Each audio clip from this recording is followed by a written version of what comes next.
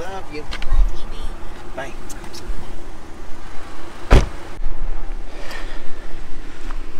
Hey, how's it going, everybody?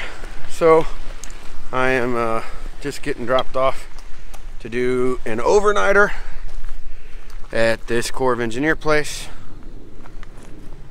There goes my wife. And the reason why I get dropped off is because this is the same place that earlier in the year, my buddy Adam and I uh, did an overnight when it snowed and stuff. And we did the Uber. And the reason why we do that is because if not, you've got to pay $10 parking uh, for the overnight section. But basically, you got to get a camp campsite. Now, this is all Corps land, so it's public land. So you're not paying for the campsite, you're paying to park here. So this saves me 10 bucks to just come out and do one night. And I get to do this pretty little hike. This is where I came from.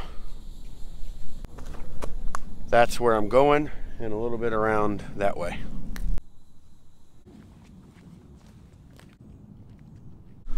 So it's about uh, 6.30.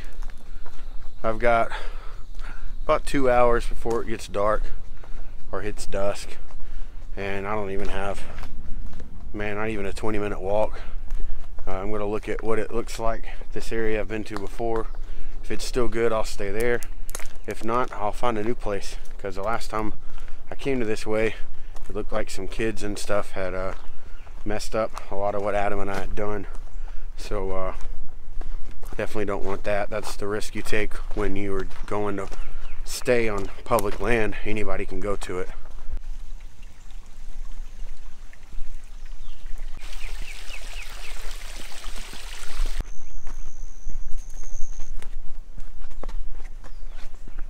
Man, the creek is way, way down. Uh, Adam, you'll you'll know how far down that is. And this is the first time too that I've been here for the spring because I wasn't able to come into any of this area last year because the flooding was still so bad. So a lot of this is going to be new for me as far as it being grown up and all that.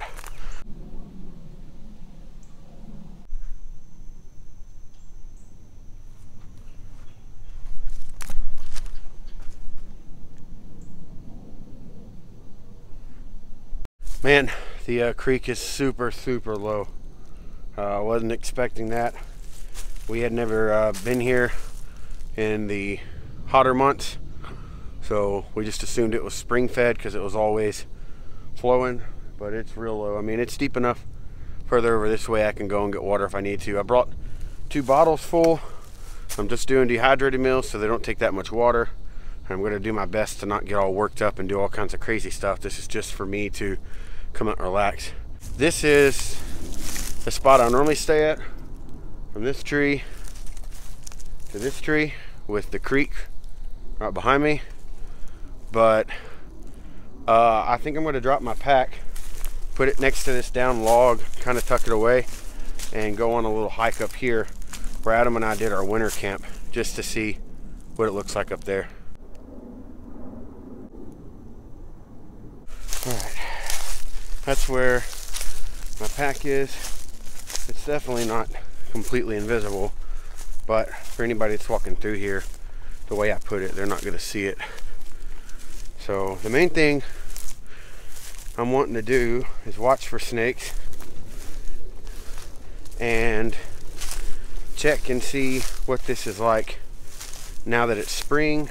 There's green everywhere and what's grown up and like kind of like our little trail that we made when we, we came out here for the for the winter camping. I'm definitely, if I'm not looking at you in the camera, I apologize. This is just like Copperhead City. This all still looks fairly the same. Turn you around real quick.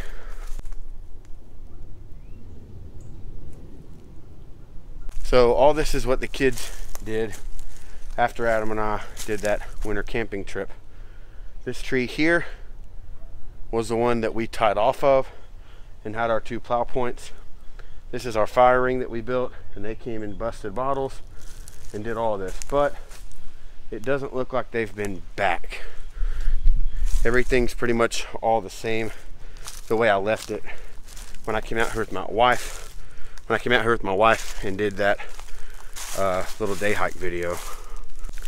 But what I was wondering is going back in here and maybe finding a spot. I don't want to do too much trail clearing or like clearing out a spot because I have that one down there. I also don't have anything to do tonight besides put up my tarp and my hammock. So I'm going to go over my gear and all that tomorrow during the day. And I have some time that I need to to do some stuff or whatever. I can hang out tomorrow. I brought stuff for, for even lunch tomorrow if I need to. So to keep from getting too sweaty and having sweaty clothes tonight that probably won't dry out unless I take my time in the morning. Uh, I'm gonna go just a little bit further up this way and see if I find a spot and then go back to my pack. I don't want to get too far away from it.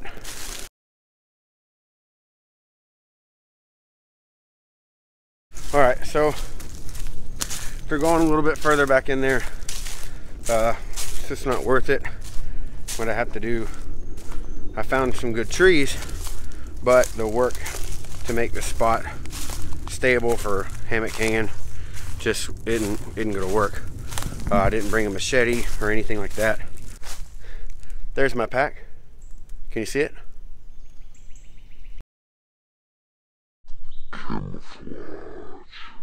All right, so these two trees got you set up. You can see how I string this stuff up and I'll do a time lapse too so you don't have to watch all of it.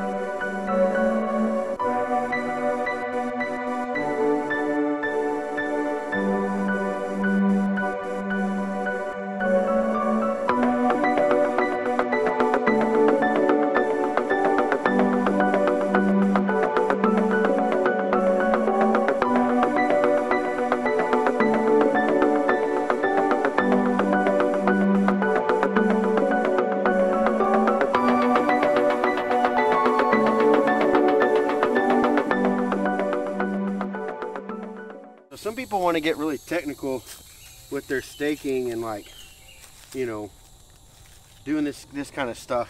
And really all I ever do is I just wrap around it once or twice. And once it doesn't move on its own, I just make a few more wraps like this.